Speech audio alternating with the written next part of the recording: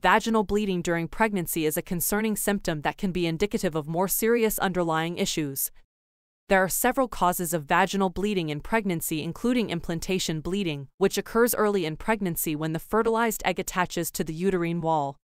It is typically light and short-lived.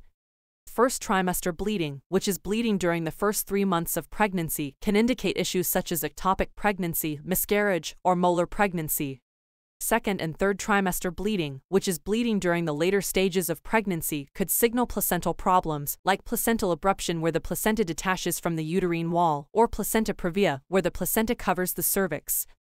Other causes of vaginal bleeding during pregnancy are infections, inflammation, cervical polyps, and trauma during intercourse.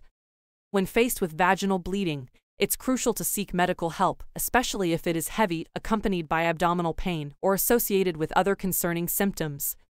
While some forms of fluid leakage, such as increased vaginal discharge, can be normal during pregnancy, other types of fluid leakage, particularly if associated with specific characteristics, odors, or discomfort, can indicate underlying issues that may pose risks to both the mother and the developing fetus.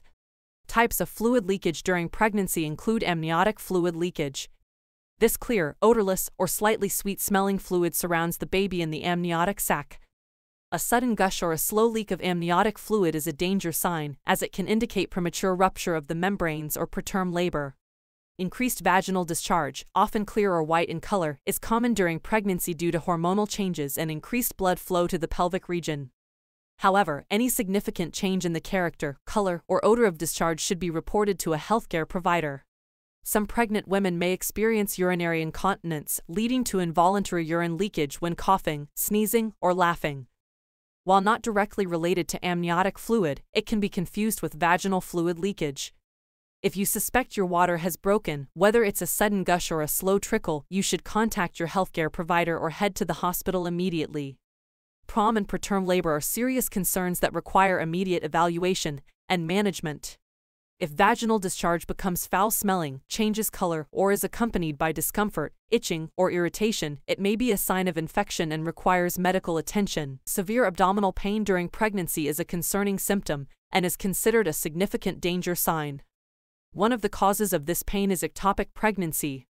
This occurs when a fertilized egg implants outside the uterus, typically in the fallopian tube. As the embryo grows, it can cause severe pain and bleeding, posing a life-threatening situation severe abdominal pain can be an early sign of a miscarriage. If accompanied by vaginal bleeding, this can be a strong indicator of a pregnancy loss. Placental abruption can cause severe pain and bleeding and is a medical emergency. While generally harmless, some women experience sharp, shooting pains due to stretching of the round ligaments that support the uterus. This pain can be severe but typically subsides with rest. Conditions like gallstones or gastrointestinal infections can cause severe abdominal pain, and may require medical intervention. While some pregnant women may experience mild headaches as a common part of the pregnancy, severe or persistent headaches can signal underlying issues that need careful evaluation and medical attention. Common causes of severe headaches during pregnancy include hormonal changes. Pregnancy involves significant hormonal fluctuations, which can lead to mild to moderate headaches. However, severe headaches are not typical and may indicate an issue. Preeclampsia is a serious condition that can occur after the 20th week of pregnancy. It is characterized by high blood pressure and can cause severe headaches, along with other symptoms like swelling and visual disturbances. Some women who have a history of migraines may experience severe headaches during pregnancy. Migraines can be triggered or exacerbated by hormonal changes and other pregnancy-related factors.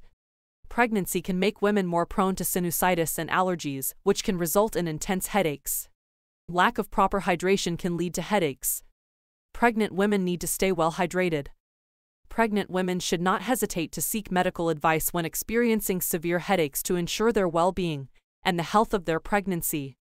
Any unusual and persistent alterations in vision should be carefully evaluated and addressed to ensure the health and well-being of both the mother and the developing fetus.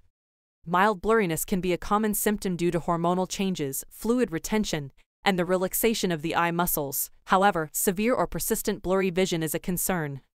High blood sugar levels and gestational diabetes can affect the shape of the eye lens, leading to blurry vision. Proper management of blood sugar levels is essential during pregnancy. Preeclampsia can also impact vision. Pregnant women with preeclampsia may experience visual disturbances, such as seeing flashing lights or having spots in their vision.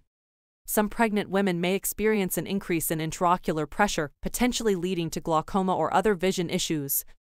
Hormonal changes during pregnancy can lead to dry eyes, causing discomfort and blurry vision. Reduced fetal movement during pregnancy is a critical danger sign and should never be overlooked. Fetal movements are an essential indicator of the baby's well-being and health. While there can be variations in fetal activity, a noticeable reduction in movement can signify potential issues that require immediate medical attention. Causes of reduced fetal movement include dehydration. Maternal dehydration can lead to a reduction in the amount of amniotic fluid, restricting the baby's movements. Sometimes the baby's position in the womb or the mother's own position can temporarily reduce movement, problems with the placenta can affect the baby's oxygen and nutrient supply, leading to reduced movement. If the baby's umbilical cord becomes compressed, it can hinder blood flow and movement. A reduction in movement may be a sign of fetal distress, possibly due to a lack of oxygen. The management of reduced fetal movement depends on the underlying cause. Continuous monitoring and further testing may be required to determine the exact cause and the most appropriate intervention. Experiencing pain or a burning sensation while urinating during pregnancy is a significant concern and should be taken seriously. Common causes of pain or burning sensation while urinating during pregnancy include urinary tract infections. UTIs are a common cause of painful urination during pregnancy. Hormonal changes can lead to urinary stasis and increase the risk of bacterial growth in the urinary tract. UTIs can cause discomfort and, if left untreated, may lead to more severe complications.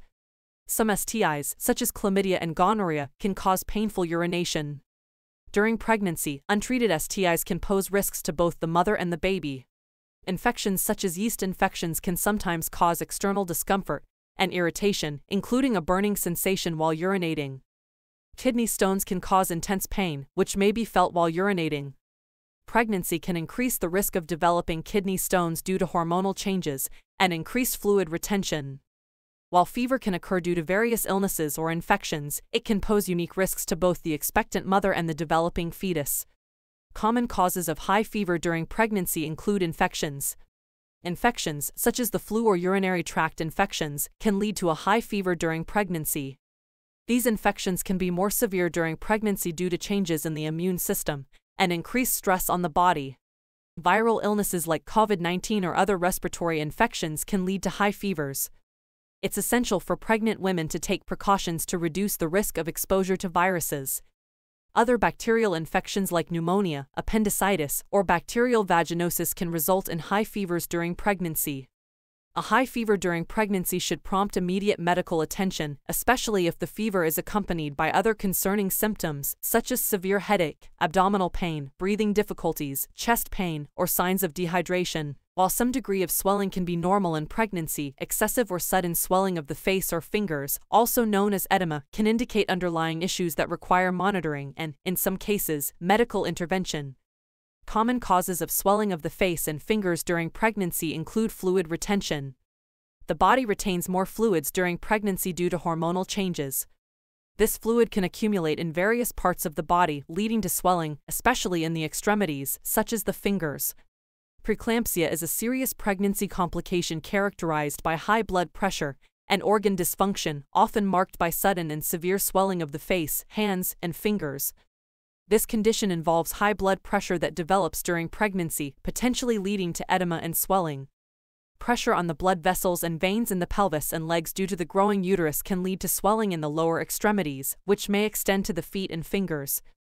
While some degree of morning sickness is common in pregnancy, severe and persistent vomiting during pregnancy, often referred to as hyperemesis gravidarum, can lead to dehydration, malnutrition, and other complications.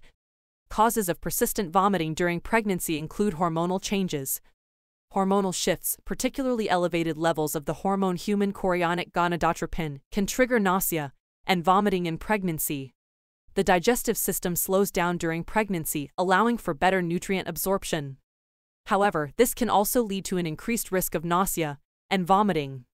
Women carrying twins or higher order multiples often experience more severe morning sickness and vomiting due to increased hormone levels and other factors.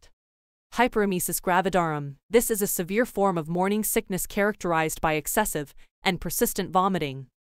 It can lead to dehydration, electrolyte imbalances, and weight loss. Persistent vomiting during pregnancy should be taken seriously, and prompt medical attention is necessary if vomiting is severe, continuous, and unrelenting, leading to weight loss and dehydration. Experiencing difficulty breathing during pregnancy is a significant concern that requires prompt attention. During pregnancy, hormonal changes can lead to an increase in blood volume, causing the heart and lungs to work harder. This can result in mild breathlessness, especially in the later stages of pregnancy. The growing uterus can displace the diaphragm, reducing lung capacity, and can press on the vena cava, affecting blood return to the heart.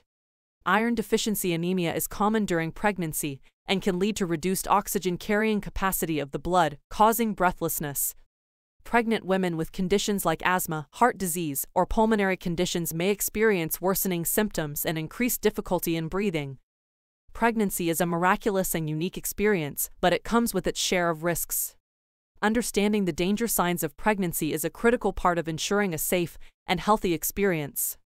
Always remember that every pregnancy is unique, and what's normal for one person may not be for another. Trust your instincts, prioritize regular prenatal care, avoiding risky behaviors, and open communication with healthcare providers are key to reducing the risks associated with pregnancy early detection and proper management can significantly improve the chances of a healthy pregnancy and delivery. If you found this video helpful, don't forget to give it a thumbs up and subscribe to our channel for more content. And as always, feel free to leave any questions or comments down below.